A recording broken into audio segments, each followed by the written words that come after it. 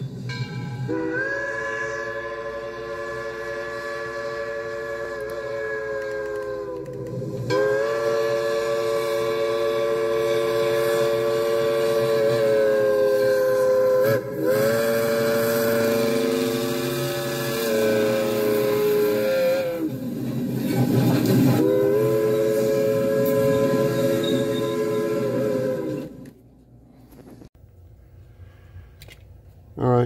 finished restoring a nice locomotive. Well, not restoring, servicing it. Let's, let's get, yeah, this beautiful 646.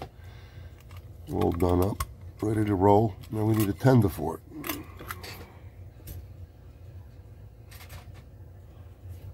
And I grabbed this tender. Lionel Lines, looks like it might have a reproduction water scoop 2046W. I know nothing about it. I bought it at a train show. What I do know about it right now is that it's got a crack in the back. There's a crack in the back, so we're going to fix the crack. We're going to open it up and see what's in here. And um, see what we have to do to fix that crack.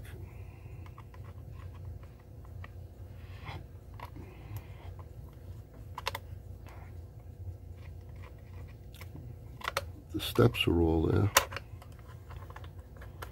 I think. Yeah, two steps in the back of there.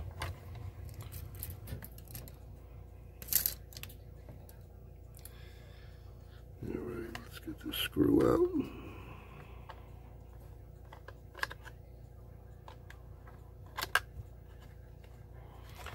And took this one on the other side. This looks like it might have some kind of spots on it. I'm probably going to wash it and see what happens. this side has a Phillips screw.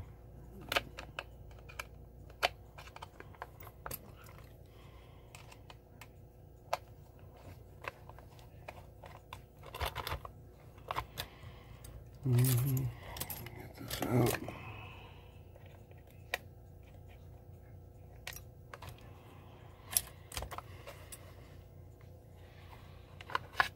And there we have our typical whistle tender. This thing has been repaired already.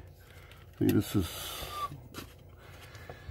what you wind up with when you buy at shows. The guy gives you the song and dance about, oh, get a tender by itself and look at all the repair work on this.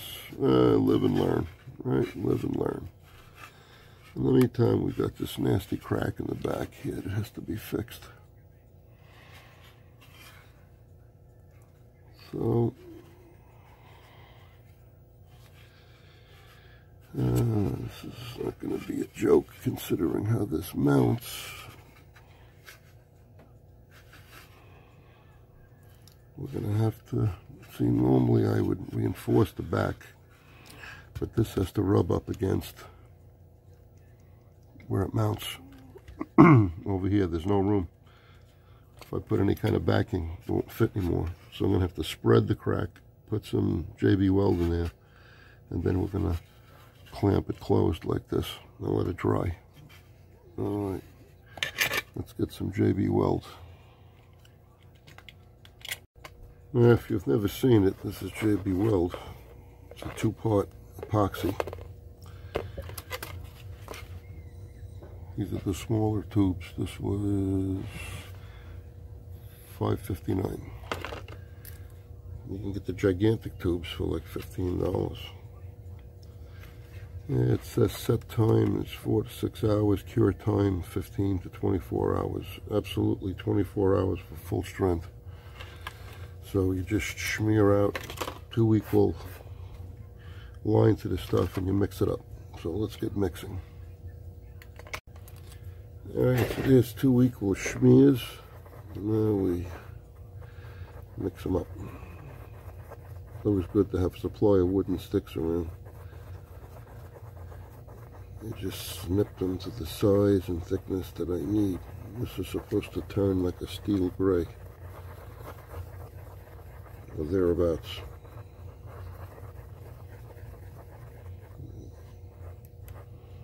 Yeah, it's pretty good.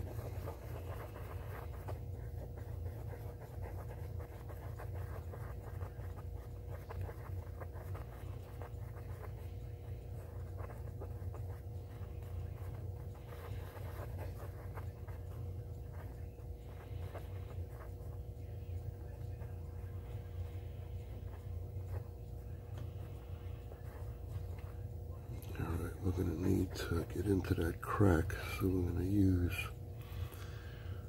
a stick that we split. Very thin tip so we can get in the crack.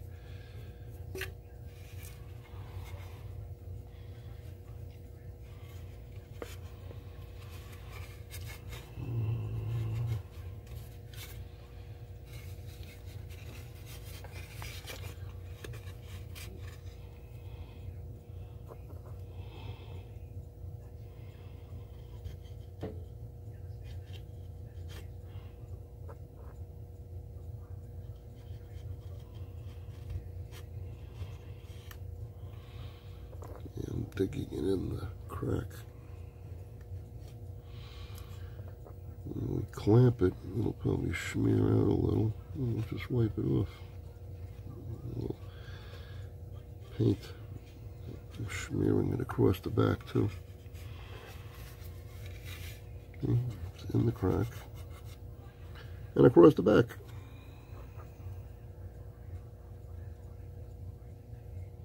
Not too thick. So, that uh, mounting bracket goes here. There's not a lot of room. Up here there is. A smear up there.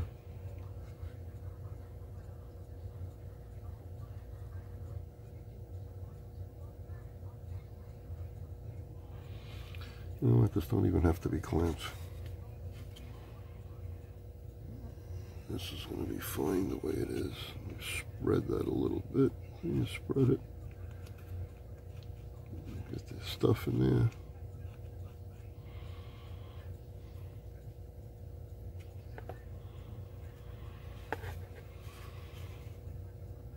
You know what? Nah, if I clamp it, crack closes completely. Yeah, I'm going to get a clamp. Yeah, that's a big clamp.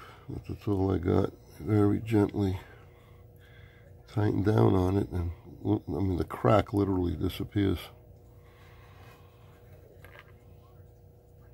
I'm just going to put a little bit more in the back.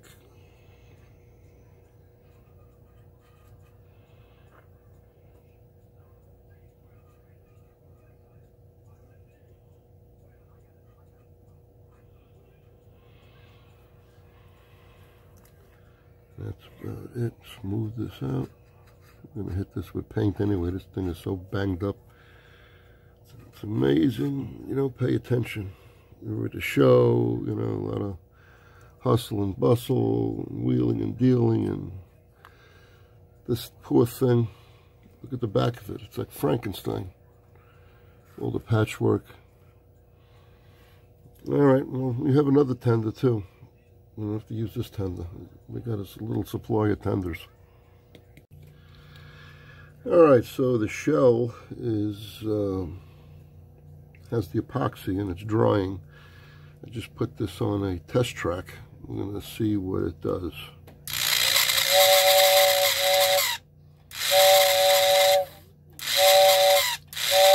All right, so it sounds like the air chamber is good, but clearly it is in dire need of lubrication. All right, this is held on with nuts. You know, you see all sorts of versions of these things.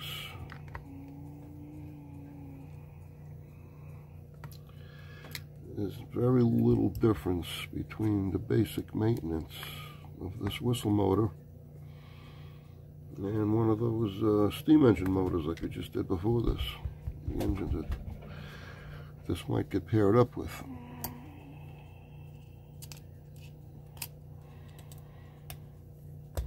The wire is not like quote unquote macaroni, so somebody probably changed the wire at some point. Uh, this might have to be unsoldered. Maybe not. Let's see. This should pop off now. Oh. It's over here. Let's see how much how much free wire we have.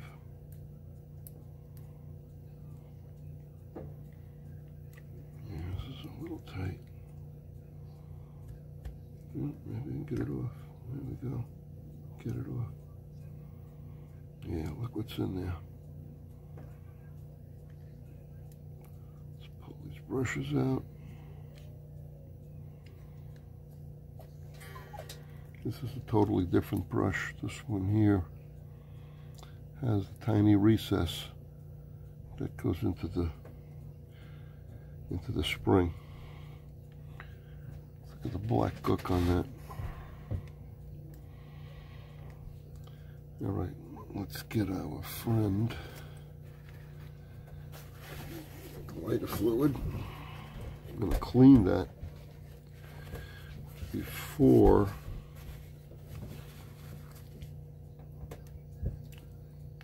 I polish it up with the crocus cloth. Remember, we use crocus cloth on armatures. You see how nice that uh, lighter fluid works? Get all this crap off.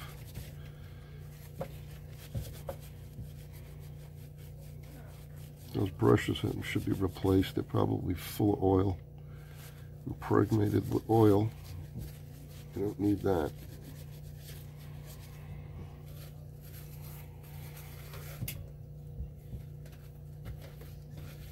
Good stuff for cleaning your fingers too. Clean the back of the plate, brush plate. Is all carbon dust. Now these brushes are much skinnier than the other brushes. So we are really going to have to uh, trim down the Q-tip to get in there, but let's work on this first. Now we'll get a piece of uh, crocus cloth. And crocus cloth.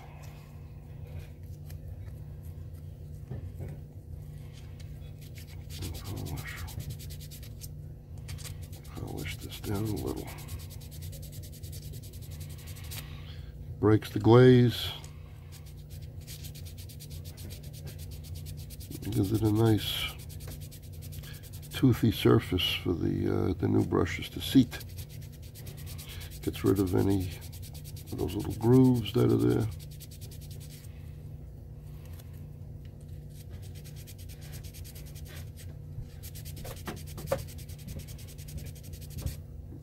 Yeah, it's great stuff be very careful. You don't get too close to here. You don't want to break the wire connection. That's easy to do, and then the new ones are very difficult to do. These are easy. The new ones have the plastic ridge, and they're just a pain in the neck. All right, that is nice and clean. Now we need to get stick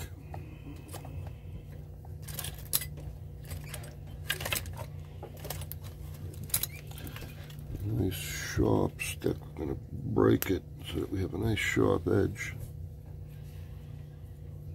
And clean the groove between each section of the armature coil. Make sure there's no crap in there. And as you can see, there is a little bit. Clean out good.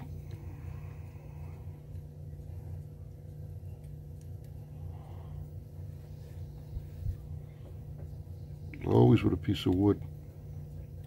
Nothing else unless you got something this skinny that's plastic. Soft plastic, but other than that, you don't want to damage anything. Never stick anything metal in here, forget it. Make sure that groove is nice and clean.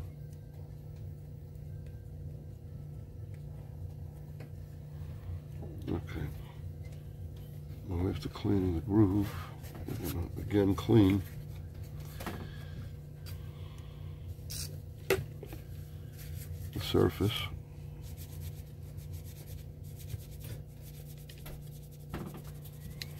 See? And the shaft.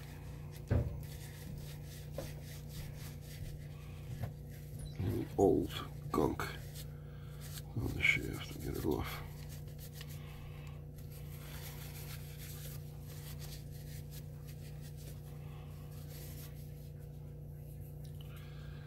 Okay. Now, we really should lubricate the bottom end of this. But can we get to it? I'm going to see. All right, what I did, I didn't know if I was going to be able to do it, and I was barely able to it. Look at this, a piece of solder. It's amazing when pops out of these things. I didn't know if I was going to be able to do it at all, but I was. Now, I had to use a strong light. I don't think you're going to be able to see it. But obviously, there's a shaft here, and there's one on the other end. Well, if you get right between the coils and you shine a bright light in there, you'll be able to see where it goes into the bushing. And you use a nice oiler like this, and uh, put a few drops of oil down in there and um, yeah, it worked wonders. See that? Look at that. Beautiful.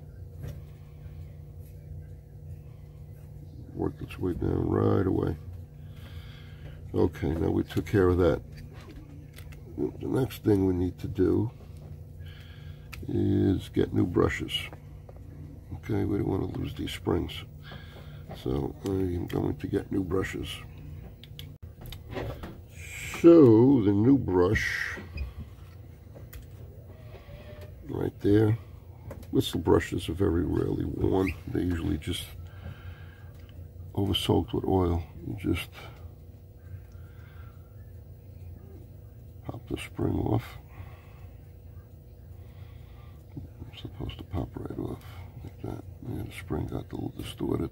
I'll have to use the other end of the spring. Get rid of this.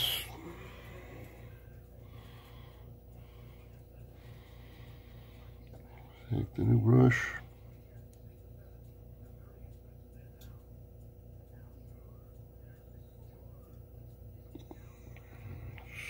Spin on.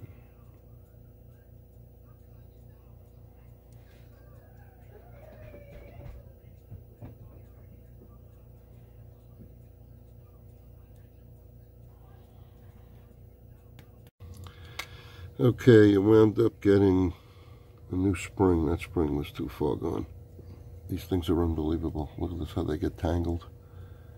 You can't get them apart sometimes, the new springs. Yeah. Anyway, um, this is the original spring from the other one. And you just magically twist it on, and it should magically go on there without any problems.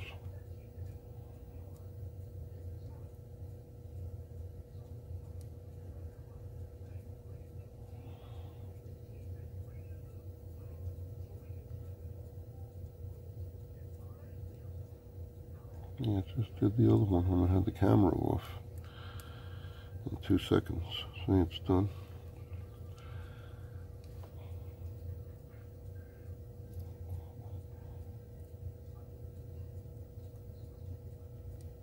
Anyway, we're going to pause.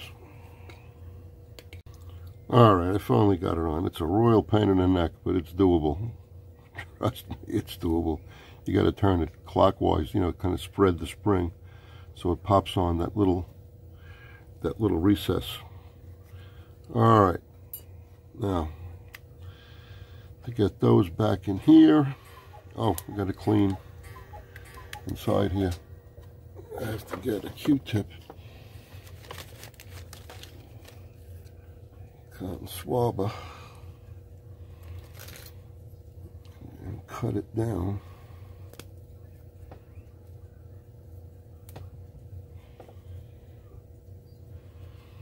that skinny enough to fit in there. Get some uh, some lighter fluid and just clean the inside of this. The um, I gotta get another one.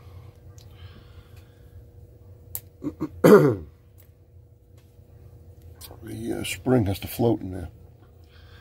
There's the armature turns.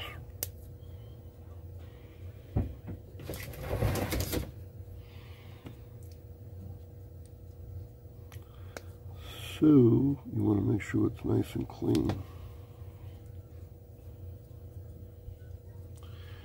And lighter fluid is the way. Actually wasn't that dirty in there because really the most of the space is taken up by the spring. You get the dust from the brush wearing away. It's black coming off.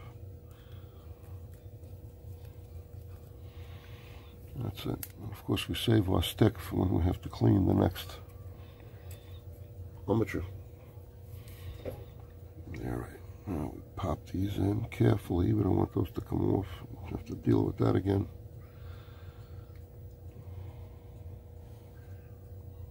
Put the springs in there. Tilt it over.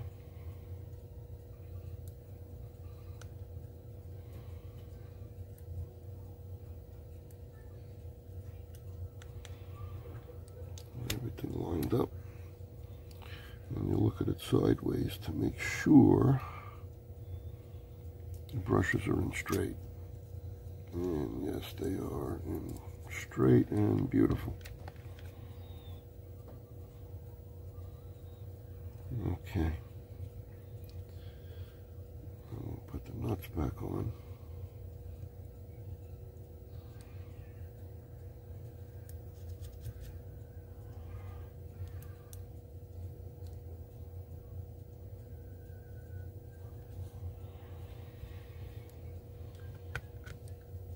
That's a fiber, phenolic, whatever, um, brush plate, so you don't want to go crazy tightening this thing. Just you snug it up. I realized I was getting at a, should just move the camera, right? Makes no sense. You know, this, this fancy phone that I use here, when you use the front camera, you lose a lot of features. You can't zoom in. anyway, now in here is a wick. So we're going to oil this. A few drops in there. That wick is going to soak it up.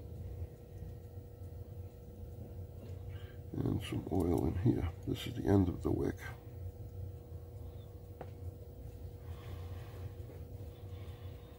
Let this drink up some oil. See, there's a little hole there, a little access hole. For you to put the uh, oil in. It goes right in and drinks it right up. Don't go crazy. As we did both sides. That should do it. No grease on these things, just a couple of places where you want to oil it. The relay was working. You know what? These things are so finicky. I hate to even touch them. What I'll do, take a piece of paper towel, put it in there.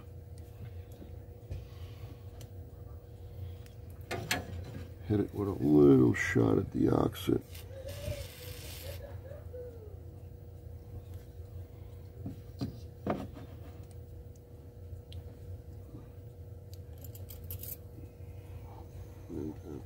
bit of pressure on it. Very gently pull this through. And you can see the black coming off.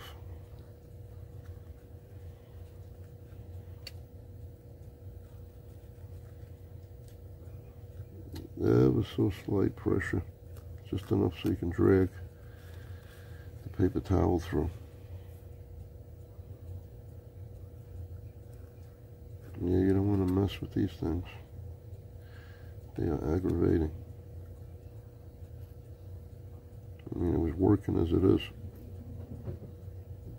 So, we're see you don't mess with success, but we took a lot of dirt off. All right. I think it might be time to give this thing a test. Let's go to our test track. To, before we put in service, got to oil the wheels and all of that stuff. But right now, we're just worried about the whistle. All right.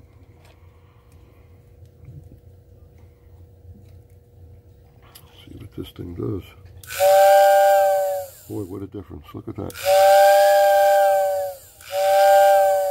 That's a very good whistle. Very responsive. Nice and loud. There's no air leaks. That's what a little servicing can do.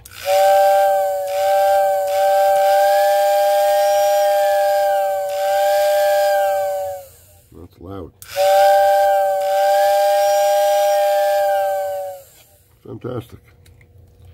So that is how you service a Lionel Whistling Tender. And what number is underneath this thing? 2046, 2046W. Yeah, the rollers are not even that worn. It's in good shape. So you know what? While we're at it, why don't we just oil the wheels? You can see they're a little hardly hardly want to move. A few drops in there, a few drops in there, a few drops in there, a few drops in there, one on the end. It's the pickup roller.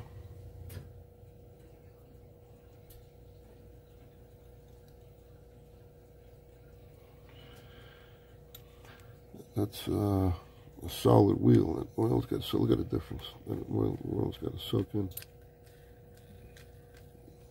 This is going to be a nice tender. It is a nice tender. Maybe we'll get a new shell for it since that shell is all banged up. And the tender frame and whistle is in such great shape. Is this thing moving? Yep. Yep. Yep. Make sure you get oil on the sides of this thing.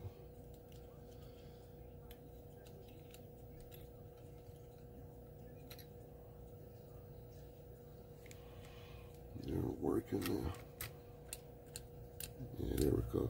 There it goes. Wipe up. A little, little bit's gonna hit here and there. You wipe it up as best you can. Do a little of this, little of that. This might be original. Who knows? I know they make reproductions. It looks a little kind of shiny-ish. All right, so this is this is the what do they call these? The staple end trucks. This is the old stuff. This is the good stuff. Got nice heft. So we got a beautifully working whistling tender that we're going to mate up with our uh, 640 steam engine. You know what? Drop of oil in here do good too. This is a wee bit stiff. Oil in there.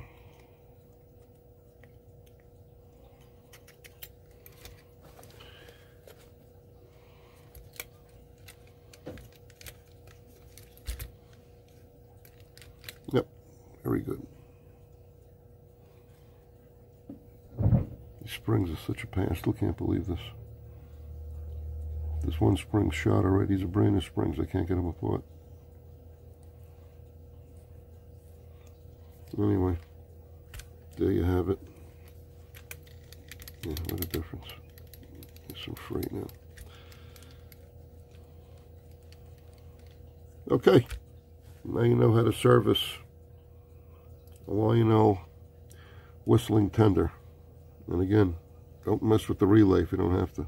You can see there's that leaf down there. And like I said, it's just a paper towel with some deoxit and just very, put a little bit of pressure on it, just drag it through it. Don't mess with it.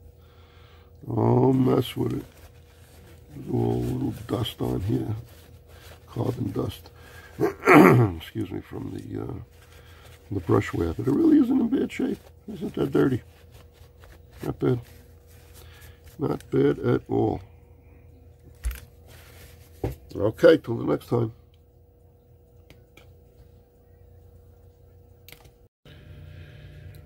So your basic Lionel whistle, the air whistles, the old post-war air whistles. I think they even used these pre-war, I'm not even sure. So what you have is more or less a fan blade that's in this plastic labyrinth. That's exactly what it is, is a labyrinth. There's a whole, you know, two chambers actually. Here's one whistle. Here's the other whistle. So you have two tones together when the uh, whistle blows. And of course, this is the motor and your armature. And the bottom of the armature is connected to the fan blade. Uh, you'll see whistles, unfortunately, you will come across whistles where the seam has, for whatever reason, opened up. You get air leaks, air leaks over here. There's a gasket that goes in there. And when you have to take this apart, this if you want to take the top off, like the metal ones, I don't know about these, the metal ones, there's actually metal chambers. And you can actually take the top off. And there's this very elaborate gasket that goes in there when you put it back. I repaired one one time. It's an interesting project. Plastic ones are another story. These you're better off just sealing them with glue or silicone or something if they start to have issues with uh, air leakage. But that's how they work. So it's basically a fan. You really can't see it because it's in there. It's a little fan and it blows air and you got uh, I don't know what the notes are. actually two specific notes. One there and one there. Two whistles. And being air, it sounds really nice. And when they are in good shape, like this one, you get that good healthy whistle, like you just heard. Okay, now we'll really wrap it up. Wait, but there's even more. Now, this is the next tender. I've bought two of these when I was at the show. This one, fortunately, doesn't have a, a Frankenstein shell. Everything looks to be intact. Anyway, back to this thing. In order to get this brush plate off, uh, this is going to have to be unsoldered. Because I don't think that can be unraveled from there. It's actually threaded through a hole the other one, there was enough room. There was enough room. Maybe somebody backed one length of coil out, I don't know. But this is going to be unsoldered. going to clean this green stuff with the deoxit too. These move back and forth. Mm. So I'm going to clean those up with the deoxit. But uh, this is a case where you got to do a little bit of unsoldering and soldering to get the brush plate off. All right, to add further to this, these were even too tight. The two on the side here. But you know what? These are the original ones, original wise. They're breaking like macaroni. They're literally snapping. All this black stuff is broken, dried up insulation. So, we're going to get two new wires to the um, pickups in addition to the usual uh, servicing. So obviously this comes off easy now. And brushes fell out already. And it's going to be the same as the other one. Same routine. The gunk, the oiling. I think it's the same damn tender. Same damn, I know it's the same whistle. Okay. Here's a classic example of what I was talking about it says the wire turns to macaroni. And believe it or not, I'd rather buy a tender like this and rewire it myself. At least I know it's done nice and neatly and properly. But uh, when you buy original stuff, I mean, this is, you know, this is very old. This stuff is, you know, 60 plus years old. You got to expect this. This is absolutely to be expected, and it is perfectly normal for something of this age. And easy to prepare.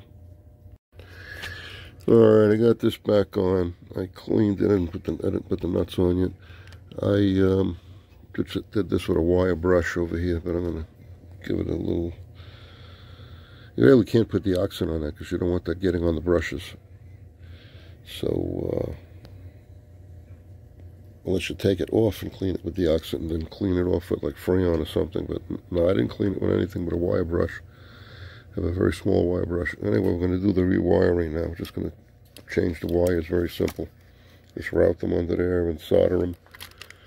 And uh, I'm going to use uh, 24 gauge stranded, always stranded. Anytime you have things that have to move, you use stranded wire. You use solid wire, it's going to break.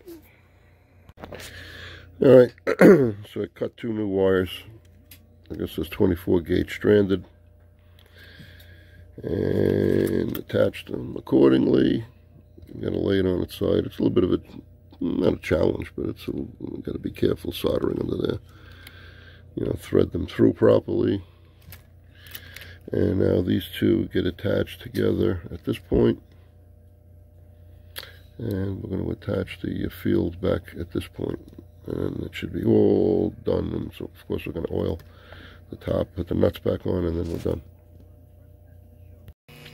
all right so we did a little something different to this tender we added three LED lights in the back we had three empty holes so we put three empty I'm sorry we put three LEDs in the empty holes now we have nice red lights